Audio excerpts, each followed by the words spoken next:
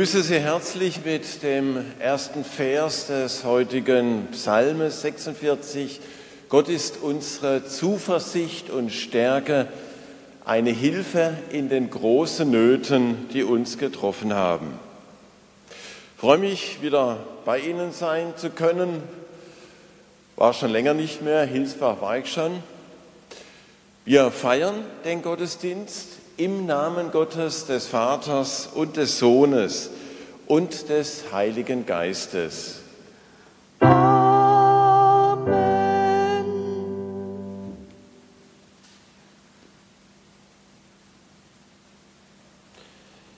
Ich lese den ersten Teil des schon erwähnten Psalmes 46. Es ist der Psalm für den Reformationstag im besonderen Sonntag.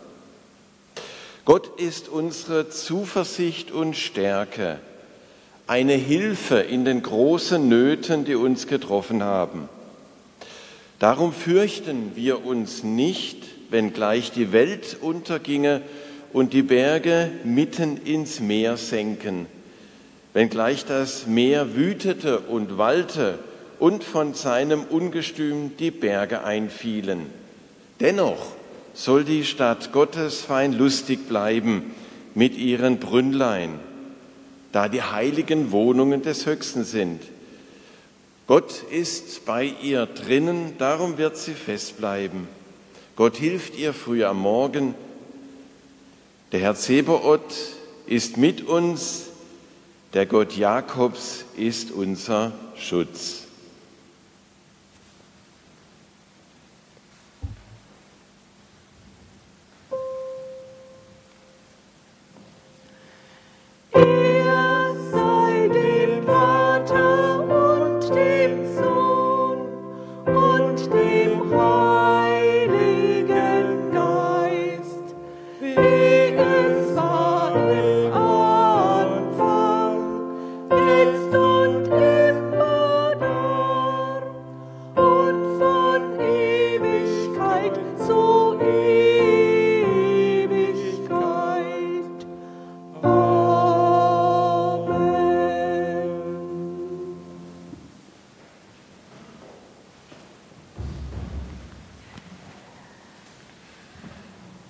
Möchte den Gottesdienst am heutigen Reformationssonntag auf Luther hin ausrichten, natürlich für uns heute.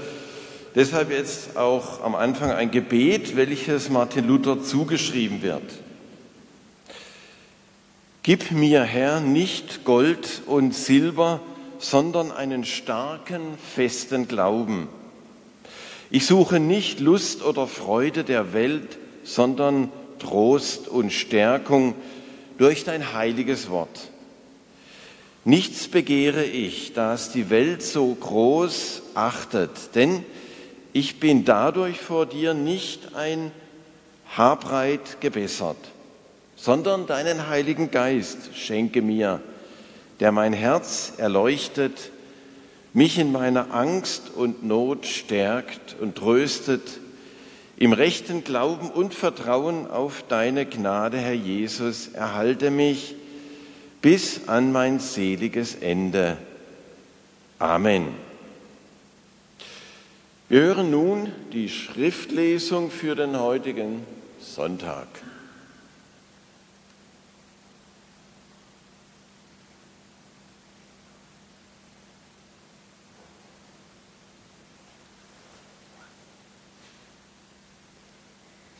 Als Jesus die Menschenmenge sah, stieg er auf einen Berg. Er setzte sich und seine Jünger traten zu ihm. Da begann er, sie zu unterweisen. Glücklich sind, die erkennen, wie arm sie vor Gott sind, denn ihnen gehört die neue Welt Gottes. Glücklich sind die Trauernden, denn sie werden Trost finden. Glücklich sind die Friedfertigen, denn sie werden die ganze Erde besitzen. Glücklich sind, die nach Gerechtigkeit hungern und dürsten, denn sie sollen satt werden. Glücklich sind die Barmherzigen, denn sie werden Barmherzigkeit erfahren. Glücklich sind, die ein reines Herz haben, denn sie werden Gott sehen. Glücklich sind, die Frieden stiften, denn Gott wird sie seine Kinder nennen. Glücklich sind, die verfolgt werden, weil sie nach Gottes Willen leben. Denn ihnen gehört Gottes neue Welt. Himmel und Erde werden vergehen, aber meine Worte werden nicht vergehen, spricht der Herr. Halleluja. Wir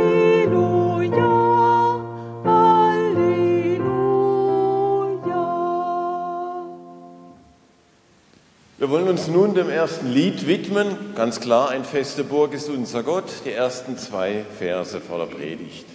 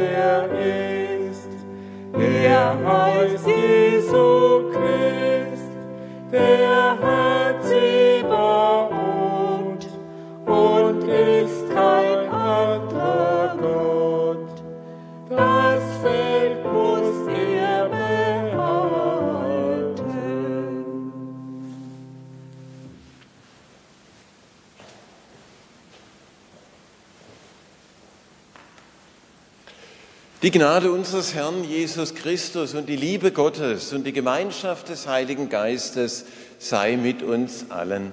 Amen. Ich habe den Wochenspruch oder Tagesspruch für den heutigen Reformationssonntag zugrunde gelegt. Einen anderen Grund kann niemand legen, außer dem, der gelegt ist. Welcher ist Jesus Christus?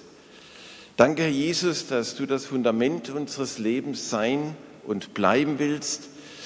Hilf uns, dass wir uns ganz und gar auf dich hin ausrichten. Segne du jetzt das Hören und das Reden. Amen. Liebe Gemeinde, der Tagesspruch ist sehr passend und geht direkt auf Jesus Christus. Klar. Einen anderen Grund oder ein anderes Fundament kann niemand legen, außer Jesus Christus, der gelegt ist. Vor wenigen Jahren haben wir unser Haus gebaut und da ging es um die Grundlegung, Fundament oder besser gesagt Bodenplatte. Und ich war schon erstaunt, wie viel Aufwand das war. Also geologisches Gutachten, der war nicht nur einmal da, der hat da sechs Meter Und der Tiefbauer hat uns geraten, nicht nur einmal die Festigkeit zu prüfen, sondern an allen vier Ecken oder in der Mitte nochmal, also fünfmal. Und das alles wegen dem Fundament. Hat natürlich alles gekostet. Aber ich habe schon eingesehen, dass so ein Haus ein Fundament braucht, ein Lebenshaus. Da wollen wir drin leben und nicht nur ein, zwei Jahre, sondern wirklich, so Gott will, lange.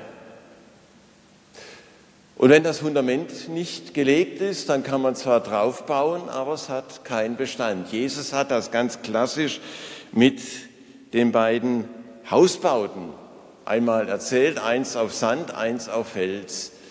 Mit dem Sand ging unter, Haus auf Fels blieb stehen, als es zur Sache ging mit Unwettern. Martin Luther wurde geschenkt vor über 500 Jahren, dass er zur damaligen Zeit Jesus Christus wieder als Fundament gelegt hat. Es war nicht seine Idee, sondern das war Jesu Entdeckung für und durch ihn und auch für uns bis heute.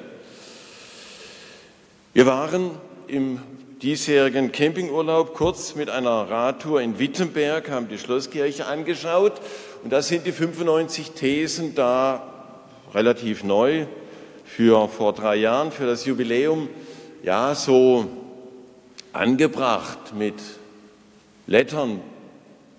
Man konnte es schlecht lesen, war wahrscheinlich so Kupfer, irgendwie was. Ich habe es nicht probiert, aber dafür habe ich zwei Thesen mitgebracht. Eigentlich wären es vier, aber die Predigt äh, muss ja gekürzt werden aus bekannter Ursache. These 1, wer kennt die nicht? Wenn unser Herr und Meister Jesus Christus sagt, tut Buße, so will er, dass das ganze Leben seiner Gläubigen auf der Erde eine stete Buße sein soll. Also ganz klar, Martin Luther ruft hier zu Jesus Christus, Herr und Meister, und möchte so viele mitnehmen, wie es nur geht. Damals war Jesus Christus ja so gut wie verschüttet unter dem Papsttum mit allem, was dazugehört, Ablass und Heiligenverehrung und Wallfahrten und vieles mehr. Luther ruft damals zu Jesus. Ich habe mich gefragt, ob wir so 500 Jahre später nicht auch es wieder besonders nötig haben, zu Jesus Christus zu rufen, unsere Kirche, unsere Gesellschaft zu diesem Fundament, was durchträgt, wo wir unser Leben drauf bauen können. Glauben, Hoffnung und Liebe. Ich habe den Eindruck, heute ist Jesus Christus auch zugeschüttet. Jetzt nicht mit dem, was es damals war. Es gibt ja andere Dinge, Sorgen dieser Welt, Wohlstand, um was wir uns kümmern und vieles andere mehr. 2. Korinther 5, lasst uns versöhnen mit Gott. Das ist der Ruf, tut Buße, jeden Tag uns zu Jesus Christus hinwenden. Ich will satt werden, wenn ich erwache an deinem Bilder. So lesen wir in dem Psalmen. Ein schönes Wort, wenn wir aufwachen an deinem Bild, Herr Jesus. Du sollst meine Speise für diesen Tag sein, wenn ich erwache. Buße heißt ja auf Deutsch nichts anderes als Hinwendung zu Gott, zu Jesus Christus. Wegwenden von den Dingen dieser Welt, die uns so in Beschlag nehmen wollen. Wir leben noch genug in der Welt, da habe ich keine Sorge, dass wir hier nicht planen und arbeiten und tun und machen, aber eher die Sorge, dass die Hinwendung, die Buße zu Jesus Christus zu kurz kommt. Deshalb möchte ich Sie gerne ermutigen, eben mit dem Wort von Luther, mit der ersten These, wenden Sie sich ganz Jesus Christus jeden Tag zu. Wer in mir bleibt und ich in ihm, der bringt viel Frucht. Ohne mich könnt ihr nichts tun, sagt Jesus an anderer Stelle. Dann die 94. These, ich mache jetzt einen Sprung, die vorletzte die lautet, man soll die Christen ermahnen, dass sie ihrem Haupt Christus durch Kreuz, Tod und Hölle nachzufolgen, sich zu befleißigen. Also man soll die Christen ermahnen, dass sie ihrem Haupt Christus durch Kreuz, Tod und Hölle nachzufolgen, sich befleißigen. In den Thesen dazwischen ist viel von Ablass die Rede, war ja auch Anlass. Einen Tag vor dem Allerheiligenfest zu Wittenberg, wo diese Reliquien ausgestellt wurden, Sie kennen es, und dann viel Geld eingesammelt wurde. Luther hat ja bewusst diesen 31. Oktober, den Vorabend, gewählt, um da wegzurufen von diesem heiligen Kult, wegzurufen von Ablass und allem dem, als könnte man Sünde per Geld sich vom Hals schaffen. Also dem Haupt Jesus Christus durch Kreuz, Tod und Hölle nachzufolgen. Also in der Hörweite von Jesus bleiben, von ihm alles erwarten und nichts ohne ihn entscheiden. Da weist Luther ganz klar auf Kreuz, Tod und Hölle hin, also auf das, was uns ganz wichtig ist, dass wir Vergebung unserer Schuld haben und Jesus Christus sozusagen die Hölle, die Verlassenheit von Gott, das ist ja die Hölle, die Verlassenheit von Gott durchlitten hat, damit er unsere Sünde überhaupt tragen kann. Der Sündlose trägt dadurch unsere Sünde. Aber wir müssen es ihm auch überlassen. Das tut er ja nicht automatisch, sondern er ruft zu sich. Dieser unauslotbarer Ruf Jesu am Kreuz, Zitat aus Psalm 22, mein Gott, mein Gott, warum hast du mich verlassen? Das will doch kein Mensch im Prinzip oder im Grunde genommen erleben, einmal von Gott verlassen zu sein, auf alle Ewigkeiten, das ist die Hölle. Jesus blieb nicht darin, er wurde von Gott bestätigt in der Auferstehung, damit wir ihm nachfolgen können. Eben wie dieser, diese These es sagt, ihm nachzufolgen, sich zu befleißigen, also allen Fleiß darauf zu setzen, alle Mühe, Jesus Christus nachzufolgen. Auch in unserer heutigen Zeit, der es nicht so einfach ist. Ich möchte doch zum Abschluss ein paar Zeilen lesen aus einem damaligen Bericht, wie Martin Luther sein Leben beschlossen hat am 17. Februar 1546 wird ein Vertrag über die strittigen Punkte geschlossen, den auch Luther unterschreibt. Luther war in Eisleben, hatte da ein paar Dinge zu regeln mit strittigen Grafen. Am Abend dieses Tages, 17. Februar, ist er noch einmal mit den Freunden zusammen, wenn auch Beklemmungen auf der Brust ihm das Atmen schwer machten. Doch erholt er sich wieder und schläft ruhig bis nachts um 1 Uhr. Beim Erwachen spricht er zu Jonas, also seinem väterlichen Freund, Ach Herr Gott, wie ist mir so weh? Ach lieber Dr. Jonas, ich glaube, ich werde hier zu Eisleben, wo ich geboren und getauft bin, bleiben. Seine Söhne, Luthers Söhne, die Freunde, die Mansfelder Grafen, füllen das mitternächtliche Sterbezimmer.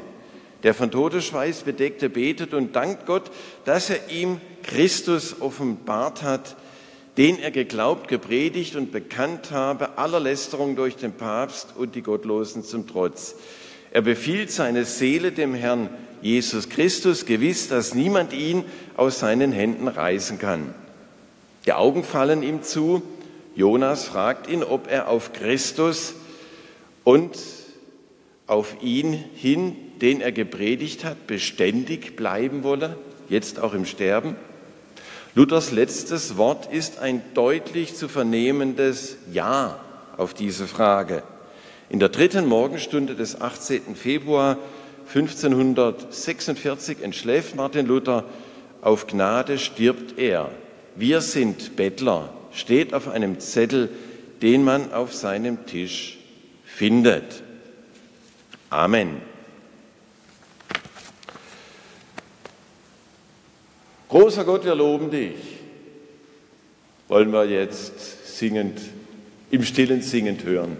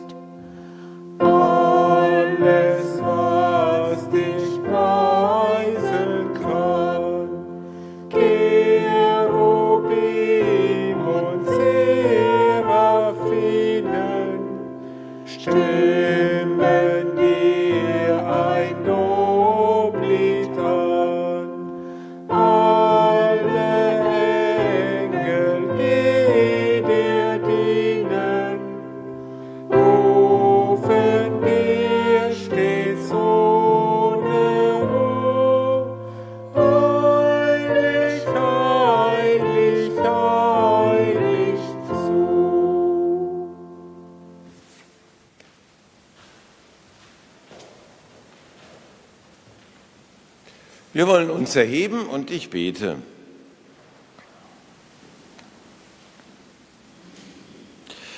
Danke, Herr Jesus Christus, dass es um dich geht und du die Mitte unseres Lebens sein und bleiben willst. Danke, dass wir dazu dein wunderbares Wort haben, deine Bibel. Sie weist uns immer wieder zu dir hin. Das, was Christus treibt, so hat Luther einmal so sein Wirken, sein Predigen zusammengefasst. Das soll auch Motto für unser Leben sein, was dich groß macht, was dich treibt, Herr Jesus Christus, und was uns bei dir hält.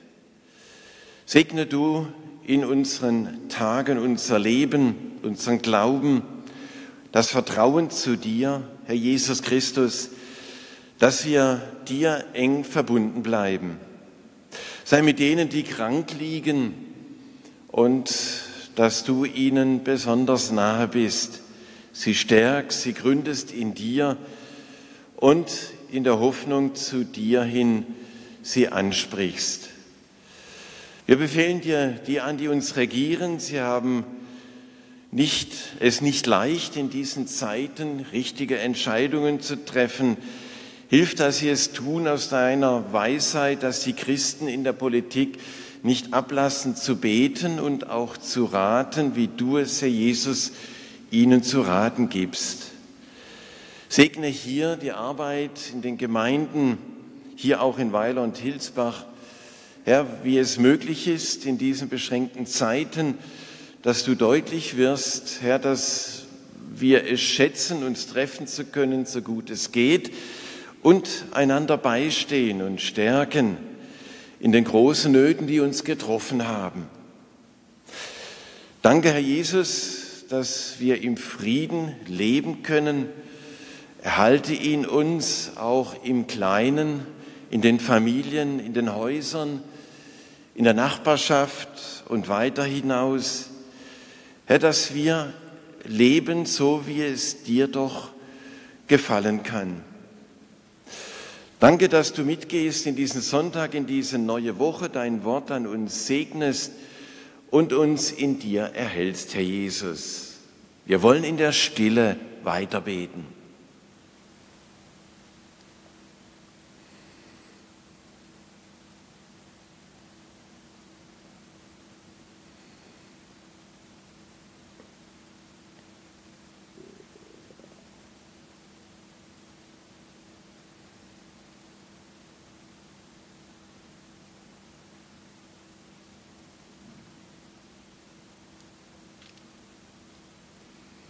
Gemeinsam bitten wir, Vater unser im Himmel, geheiligt werde dein Name, dein Reich komme, dein Wille geschehe, wie im Himmel so auf Erden. Unser tägliches Brot gib uns heute und vergib uns unsere Schuld, wie auch wir vergeben unseren Schuldigern und führe uns nicht in Versuchung, sondern erlöse uns von dem Bösen. Denn dein ist das Reich und die Kraft und die Herrlichkeit in Ewigkeit. Amen. Der Friede Gottes, der höher ist als all unsere Vernunft, er bewahre unsere Herzen und Sinne in Jesus Christus. Amen. Und noch einmal zurück, ein feste Burg, die letzten zwei Verse.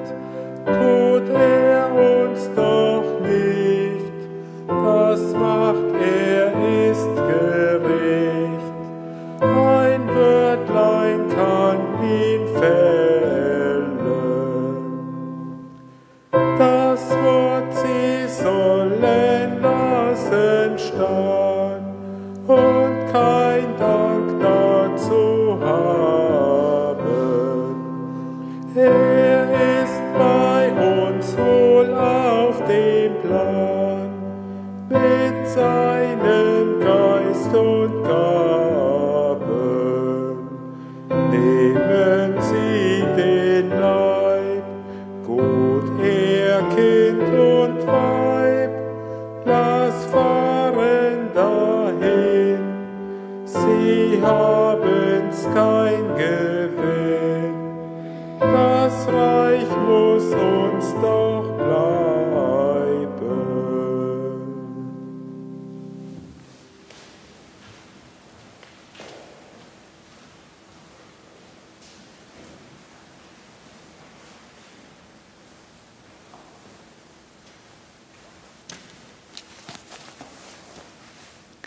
Es ist noch Folgendes bekannt zu geben. Das Opfer ist heute für die eigene Gemeinde vorgesehen. Und die Kollekte für das Gustav, ist für das Gustav Adolf Werk bestimmt. Als Eselsbrücke. O für Opfer bleibt am Ort. K wie Kollekte geht nach Karlsruhe. Herzlichen Dank für alles, was Sie am Ausgang in die entsprechenden Behältnisse einlegen. Nächsten Sonntag, 8. November, feiern wir um 9 Uhr Gottesdienst in Weiler mit Taufe von Noah Hansen aus Weiler und um 10 Uhr Gottesdienst in Hilsbach mit Verabschiedung von Prädikantin Beate Leucht. Bitte melden Sie sich für diese Gottesdienste im Voraus im Pfarramt oder bei einem der Kirchenältesten an, wenn Sie einen reservierten Platz sicher haben möchten. Bitte ziehen Sie sich warm an. Durch eine neue Corona-Verordnung dürfen wir die Umluftheizungen in den Kirchen nicht nutzen. Am Dienstag, den 3.11., findet der Seniorennachmittag um 14 Uhr als Telefonkonferenz statt.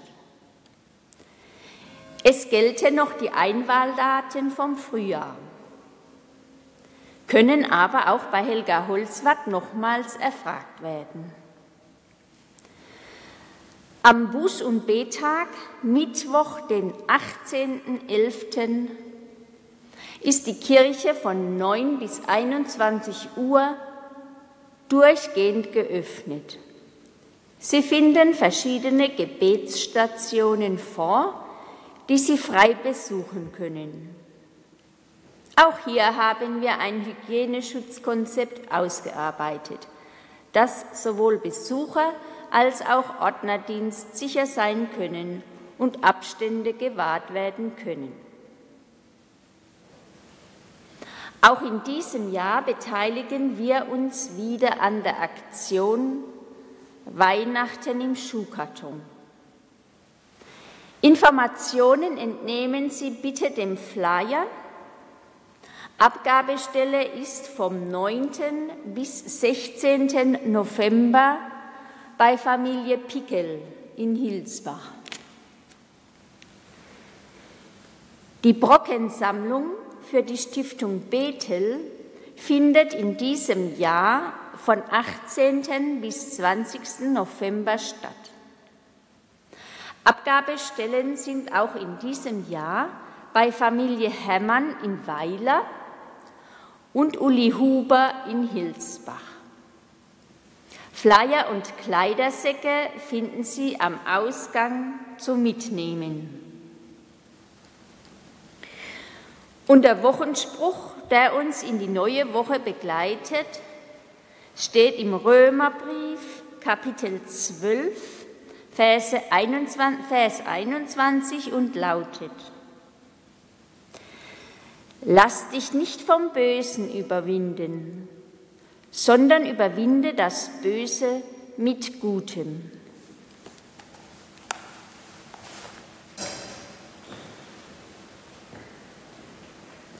So wollen wir um den Segen des Herrn bitten.